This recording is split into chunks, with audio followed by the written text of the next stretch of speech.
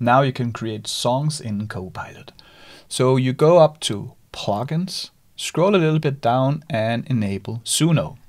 Then you might want to refresh the Copilot and here we can ask to create a song. So for example, create an EDM song about Stine. EDM is Euro dance.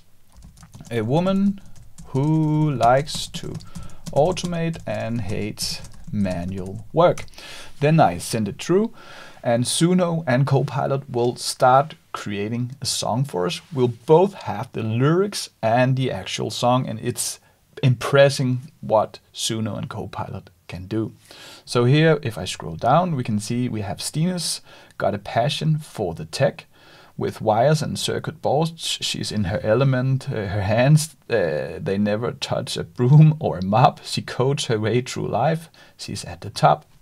In a little while, we will see the song appears up here. It's already there. Let's listen to it. Let me just um, turn it up a bit. She's in her element. Her hands, they never touch her.